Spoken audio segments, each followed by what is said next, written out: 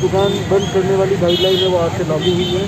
और ये अच्छी बात है कि बीकानेर के दस्तम मार्केट में सभी दुकानें बंद हैं। पुलिस के अधिकारियों का और दूसरे प्रशासनिक अधिकारियों का फीडबैक है कि सबने स्वेच्छा से, बिना किसी के मतलब कोई सख्त कार्रवाई के, बिना ही सबने अपनी स्वेच्छा से दुकानें आठ बजे बंद कर दी। इसी प्रकार का कोऑपरेशन शहर का पिछली बार भी रहा था और हम उम्मीद करते हैं इस वेव में भी रहेगा। हम जल्दी वेव जो कोरोना का संक्रमण है, उसको काबू करें ठीक है।